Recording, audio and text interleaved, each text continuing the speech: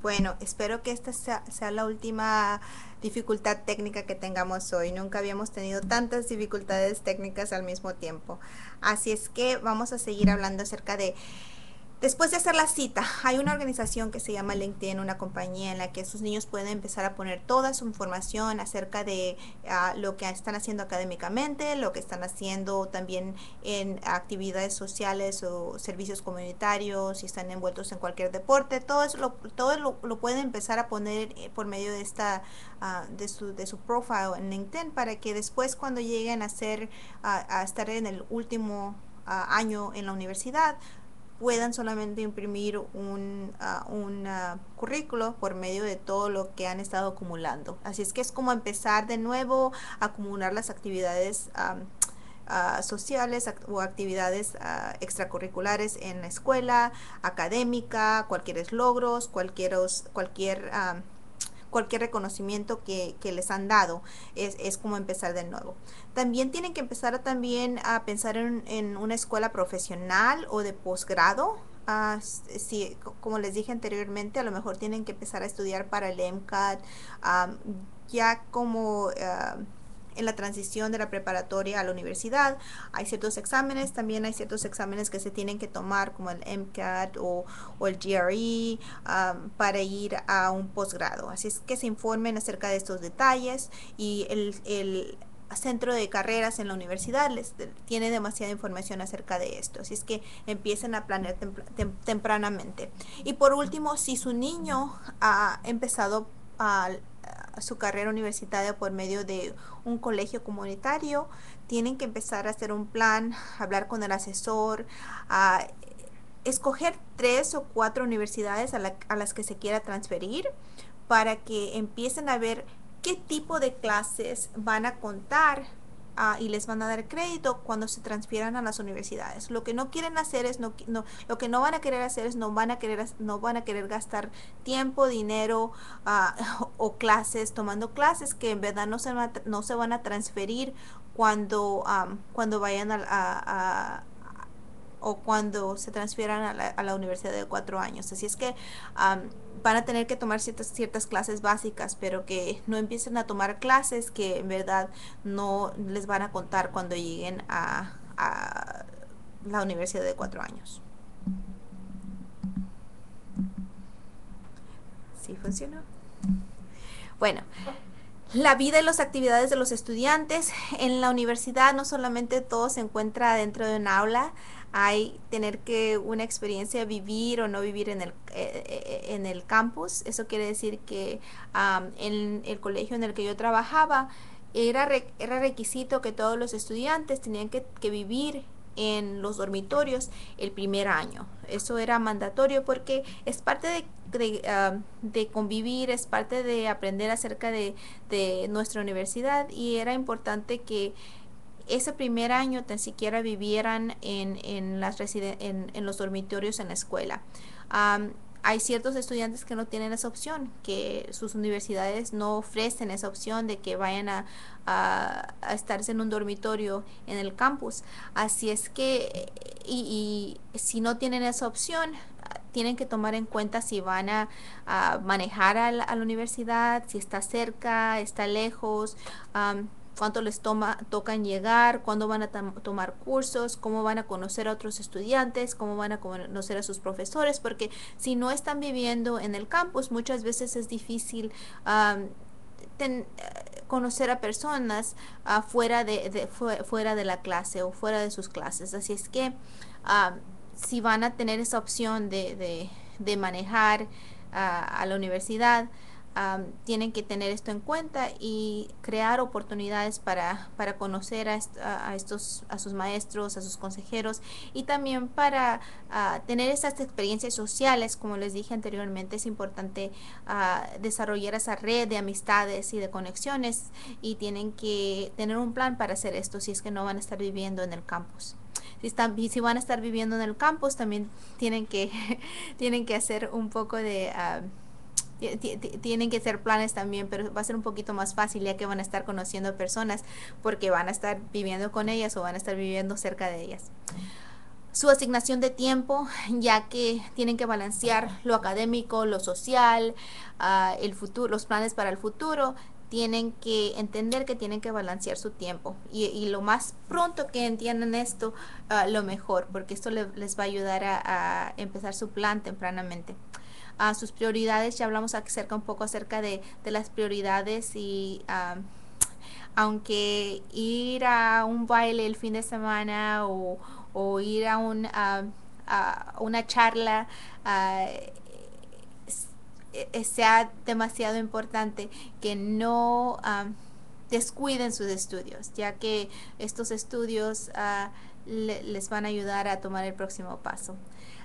Hablamos acerca, acerca de establecer una red de amistades, hay centros culturales, culturales, cultura, culturales para estudiantes latinos, para estudiantes afroamericanos, para estudiantes internacionales. Hay demasiados centros uh, culturales o clubs, uh, gobiernos estudiantiles, eventos que pasan en, en campus, a, las, a, los que muchas veces los padres también están invitados. Así es que uh, infórmese, um, a lo mejor su niño no le va a llevar, no le va a mandar la invitación, pero infórmese usted y, trate de estar involucrado Quizás no tanto como lo estuvo uh, cuando los niños estaban en la preparatoria, pero trate de mantenerse a contacto y involucrado para continuar ayudarlo, a, ayudándole a su, a su hijo.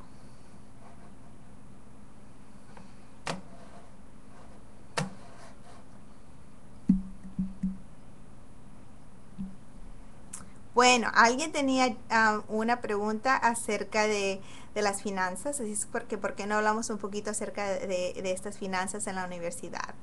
Um, ayuda financiera, eh, eh, ya aplicaron, ya a, este, a, a, esta fecha ya han de haber aplicado para la ayuda financiera, ya se les ha de haber otorgado un paquete, ya saben lo que va a ser uh, becas, uh, préstamos, cualquier subvención, ya usted tiene que estar familiarizado con el paquete familiar. ¿Qué va a ser la contribución de usted, la, la contribución de su, in, de su niño? Hay que familiarizarse. Si todavía no lo ha visto, tiene que, tiene que tener en cuenta qué se le va a otorgar y qué es lo que usted va a tener que contribuir. Así es que si no lo ha visto, lo tiene que ver muy pronto las contribuciones del estudiante y, y padres, um, típicamente en un paquete de ayuda financiera, hay una contribución para el, del estudiante y una contribución del padre. La contribución de, de los estudiantes típica, típicamente por medio de lo como se dice work study o trabajo trabajo um, y es, trabajo estudio uh, hay ciertas posiciones eh, o ciertos trabajos ciertos empleos en la universidad a los que su, su hijo o su hija puede aplicar um, y, y que califican por medio de este, de este programa de Work Study. Um, así es que entérese y uh, lo mejor que les recomendaría es que si tienen Work Study, que traten de trabajar en el campus, ya que como les dije anteriormente, los supervisores típicamente son más, uh, más comprende un poco más si es que tiene su niño que cancelar un día de trabajo o algo por, porque tiene un examen final o algo.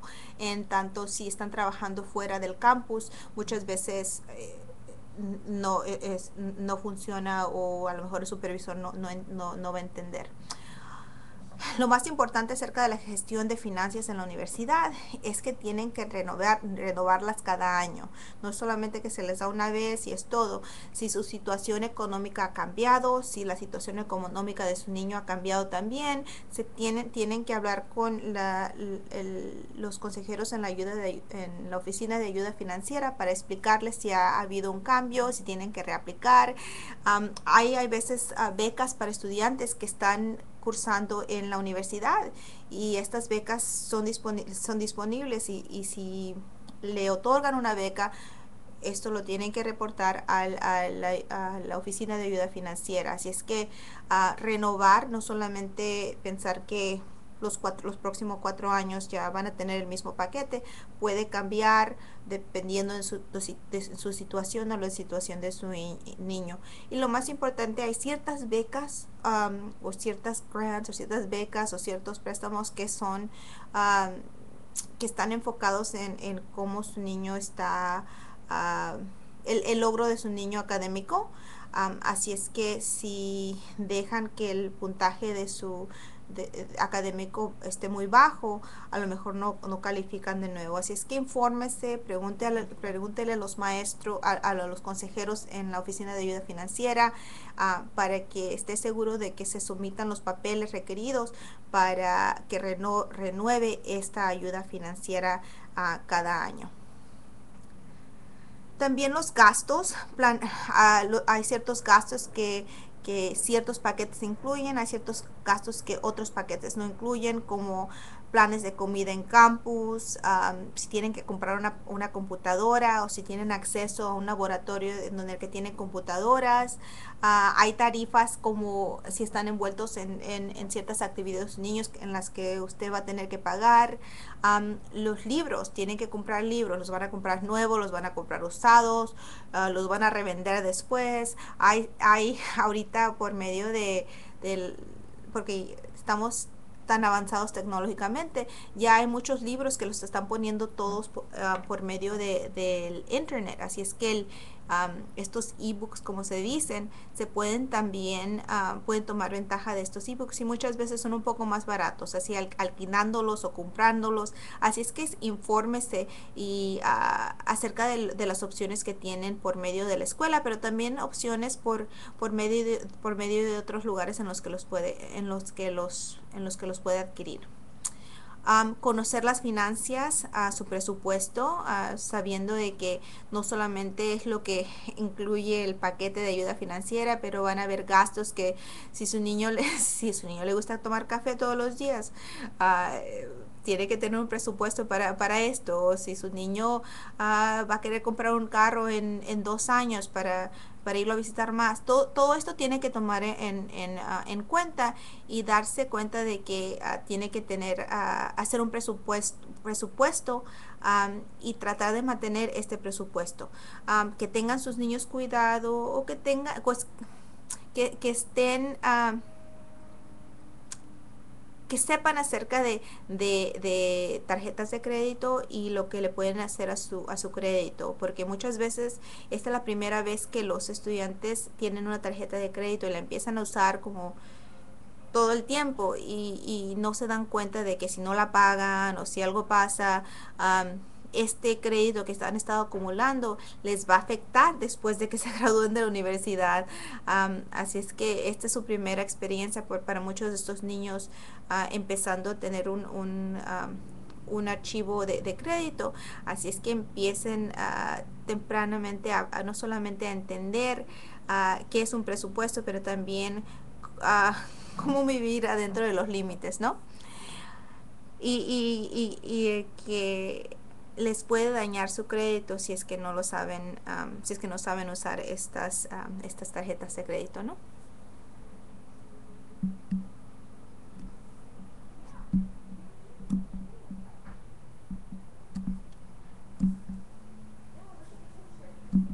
Ya casi vamos a terminar y voy a tomar un poco de preguntas. Así es que empiece por buen camino, planear tempranamente, familiarizarse con el nuevo ambiente. Como padre de familia, usted le puede ayudar a su, niño con esto. Asistir a la, a la orientación. Uh, hay cuando yo, uh, cuando yo trabajaba en, en, la universidad, hay veces que veía que los niños venían y los papás venían y los dejaban, pero no se quedaban para la, orientación. Y esta orientación les puede ayudar a, conocer el campus, a visitar estos centros de los que les he estado, les he estado hablando todo por, por la última hora. Y también uh, les va a ayudar un poquito a entender acerca de los pasos académicos, uh, sociales que tiene que tomar su niño para, para graduarse de esa universidad. Así es que pueden establecer metas como familia y cómo usted puede apoyar a su niño buscar aliados por medio de no solamente de las orientaciones, pero como les dije anteriormente, pueden empezar a buscar aliados por medio de, uh, por medio de las oficinas uh, de admisión, las oficinas de ayuda financiera, los profesores. No se les olviden que esos aliados les van a, le, no solamente le van a ayudar a usted, pero al final de todo le van a ayudar a su niño a que consiga sus metas. Um, la ayuda está disponible, solo tiene que, que, pedirla y muchas veces se nos olvida que, que hay personas que han pasado por el mismo camino y que están dispuestas en, en ayudarnos a ayudarnos a ayudarle a nuestros niños. Bueno, este es el final de mi presentación. tengo, hay ciertas preguntas y las voy a, las voy a contestar en los últimos uh, cuatro o cinco minutos. De nuevo, mil disculpas por uh, los incidentes de tecnología que tuvimos hoy pero espero que la información que he compartido con ustedes esta tarde les ayude demasiado a ustedes y a sus niños. Así es que la primera pregunta es, ah, quisiera saber acerca de ayuda sobre la ayuda financiera. como le dije hace ratito, Jennifer, esta ayuda financiera se tiene que renovar. Ah, el paquete típicamente tiene tiene becas, tiene préstamos, tiene la contribución del padre, la contribución del estudiante ah, y hay unos, hay ciertos paquetes que incluyen otros costos como si va a vivir su, si va a vivir su niño en el campus, si ah, tienen como un alocamiento por si va a comprar una computadora o algo. Así es que todo esto se le da después de que ayuda por ayuda financiera, de que aplica por ayuda financiera y le dicen, le, dicen por, por, lo que califica. tiene que llenar estas formas antes del primero de marzo y si va a, aplicar a uno de estos colegios que, porque hay colegios en los que puede aplicar no solamente en, en, el otoño, pero puede aplicar en la primavera y hay veces en el, en el verano. tiene que informarse por medio de las oficinas de ayuda financiera ahí cuáles van a ser sus fechas de límites y por, por, por, qué es por lo que puede calificar. Ernesto también tenía una pregunta acerca de cómo aplicar para becas y ayuda financiera por medio, por medio de FAFSA. Depende a la universidad al que su niño va a este no sé Ernesto si su niño está, en qué grado está. Yo, pienso que ya de, ya de estar en, en, la universidad. Si ya está en la universidad, haga una cita con, con las personas, con un consejero en, en la oficina de ayuda financiera porque eso es solamente renovar las formas si es que su niño ya está cursando la universidad. Si su niño apenas va a empezar la universidad, yo les recomiendo que vayan a collegeboard.org, collegeboard.org en español. Tenemos eh, información en español acerca de cómo los cómo, se puede aplicar para ayuda financiera, cómo se puede empezar a ahorrar por medio de los 529, cómo se pueden ah, invertir por medio de préstamos en la educación de su niño. Es que no, no, le tengan tanto miedo los préstamos, pero sí sepan que esta es una inversión y que como, como consumidores tienen que saber ah, qué tipos de préstamos, préstamos van, a, van a incurrir para ayudarle a sus niños. Tenemos aquí otras preguntitas. Ernesto, espero que, le, le haya contestado la pregunta. Los estudiantes indocumentados califican. hay estudiantes indocumentados que califican para ciertas becas, pero no necesariamente para ayuda financiera del gobierno. Esto quiero, quiere decir que hay ciertas universidades que dan becas por medio, y esto es típico, típico con, con universidades privadas, que dan becas por medio de, la institución. Yo cuando trabajaba en, en mi universidad he, conocido un número de, de, de, universidades, especialmente privadas, que otorgan una o dos becas por año o una o dos becas cada año a estudiantes indocumentados. así es que lo que yo le avisaría en este caso de, su niño, que se informe si hay universidades en su área en las que se otorgan esta, estas clases de becas. si no, el mejor recurso que yo conozco es por medio de maldef.org, M-A-L-D-E-F.org, en el que puede ir a buscar una lista de becas a la que, por, la, por las que estudiantes indocumentados pueden calificar. Ok, aquí tengo una, una pregunta de un padre que tiene un niño en, ah, en la high school, en la escuela preparatoria, ¿no?